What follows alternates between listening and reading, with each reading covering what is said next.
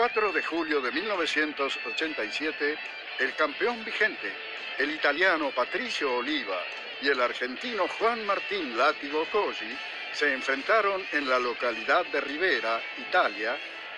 pero la localía le valió de poco al campeón, porque fue el argentino Cosi quien ganó por nocaut en el tercer round después de dominar por completo la pelea.